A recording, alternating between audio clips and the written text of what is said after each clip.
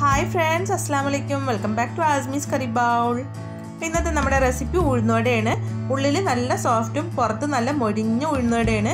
ഇതെങ്ങനെയാണ് ഉണ്ടാക്കുന്നതെന്ന് നമുക്ക് നോക്കാം. ഞാനിവിടെ ഒരു കപ്പ് ഉഴുന്നാണ് എടുത്തിരിക്കുന്നത്. നല്ലോണം കഴുകിയ ശേഷം കുറച്ച് വെള്ളത്തിൽ നമുക്ക് കുതിരാൻ വെക്കാം. ഒരു നാല് മണിക്കൂറെങ്കിലും കുതിരാൻ വെക്കണം. നമ്മൾ അരക്കുന്നതിന്റെ ഒരു ഒരു മണിക്കൂർ മുമ്പ് ഇതെടുത്ത് ഫ്രിഡ്ജിൽ വെച്ചിട്ടുണ്ടെങ്കിൽ വട നല്ല ക്രിസ്പി ആയി കിട്ടും. അപ്പോൾ ഞാൻ ഒരു മണിക്കൂർ ഫ്രിഡ്ജിൽ വെച്ചിട്ടുണ്ടായിരുന്നു. ഇനി നമുക്ക് അതിലെ വെള്ളം കളയാം. കുറച്ച് വെള്ളം മാറ്റി വെക്കണം. ഈ വെള്ളം ഇട്ട് തന്നെ വേണം നമുക്ക് അരച്ചെടുക്കാനേ. ഉഴുന്നിലുള്ള വെള്ളമൊക്കെ പോയ ശേഷം നമുക്കിനി ഇത് ആട്ടിയെടുക്കാം. ഞാനിവിടെ ഗ്രൈൻഡറിലാണ് ആട്ടിയെടുക്കുന്നത്. നിങ്ങൾ മിക്സിയിലാണ് ഇടുന്നെങ്കിലും കുഴപ്പമൊന്നുമില്ല. നല്ലോണം അരഞ്ഞു കിട്ടിയാൽ മതി. നമ്മൾ ഉഴുന്ന് കുതിർക്കാൻ വെച്ചിരുന്ന വെള്ളം തന്നെയാണ് ഇതിലോട്ട് ഇട്ട് കൊടുക്കേണ്ടത്. കുറച്ച് കുറച്ചായി ഇട്ട് കൊടുത്താൽ മതി.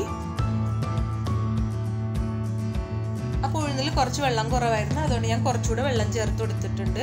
അധികം ആയി പോവരുത്. അധികം ആയിട്ടുണ്ടെങ്കിൽ നമുക്ക് ഉഴുന്നോടയുടെ ഷേപ്പ് കിട്ടൂല. ഇതിലോട്ട് തന്നെ പച്ചമുളകും ചേർത്ത് കൊടുക്കുന്നുണ്ട്. എരിവൊക്കെ നിങ്ങളുടെ ആവശ്യം പോലെ ചേർത്ത് കൊടുക്കാം. പച്ചമുളക് ഇങ്ങനെ അരച്ച് ചേർത്തിട്ടുണ്ടെങ്കിൽ കുട്ടികൾക്കൊന്നും കുഴപ്പമുണ്ടാവില്ല അല്ലെങ്കിൽ അത് എടുത്തെടുത്ത് കളയേണ്ട വരും.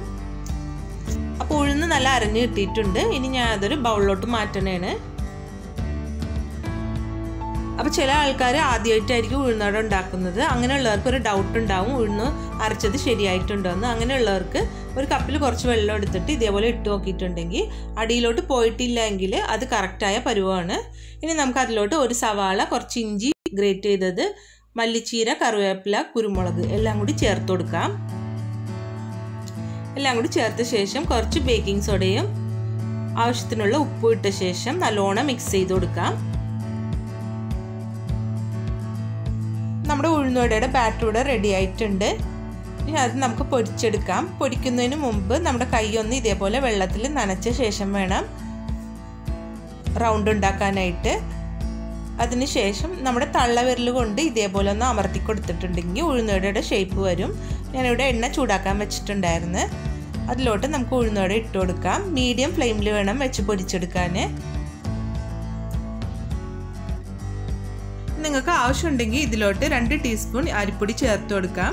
ഞാനിവിടെ ഗ്രൈൻഡറിൽ ആട്ടിയോണ്ട് അരിപ്പൊടി ചേർത്തിട്ടില്ല. നല്ല ക്രിസ്പായി കിട്ടും. മിക്സിയിൽ ആട്ടുമ്പോൾ ചിലപ്പോൾ ക്രിസ്പ് ആവൂല. അതിനു വേണ്ടിയാണ് രണ്ട് ടീസ്പൂൺ അരിപ്പൊടി ചേർക്കാൻ പറഞ്ഞത്. ആവശ്യമുണ്ടെങ്കിൽ മാത്രം ചേർത്താൽ മതി.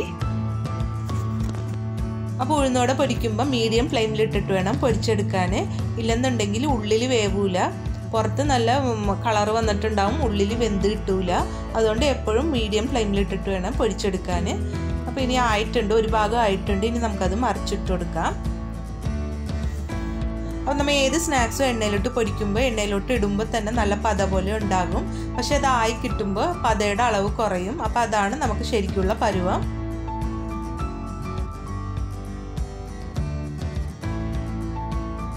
ബാക്കിയുള്ള ഉഴുന്നോടെയൊക്കെ പൊരിച്ചെടുക്കാം.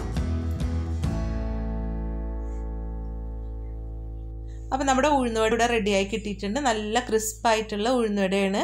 ഉള്ളിൽ നല്ല സോഫ്റ്റും ആണ്. അപ്പോൾ ഞാനിവിടെ ചട്നിയുടെ കൂടെയാണ് കഴിക്കുന്നത്. അപ്പോൾ എന്റെ ഈ ഉഴുന്നുവടയുടെ റെസിപ്പി എല്ലാവർക്കും ഇഷ്ടമായെന്ന് വിചാരിക്കുന്നു. ഇഷ്ടമായെങ്കിൽ ഒന്ന് ലൈക്ക് ചെയ്തേക്കണേ. സബ്സ്ക്രൈബ് ചെയ്യാതെ കാണുന്ന ഏതെങ്കിലും ഫ്രണ്ട്സ് ഉണ്ടെങ്കിൽ സബ്സ്ക്രൈബ് ചെയ്തിട്ട് ആ ബെല്ലൈക്കൺ ഒന്ന് അമർത്തിയേക്കണേ. Thank you for watching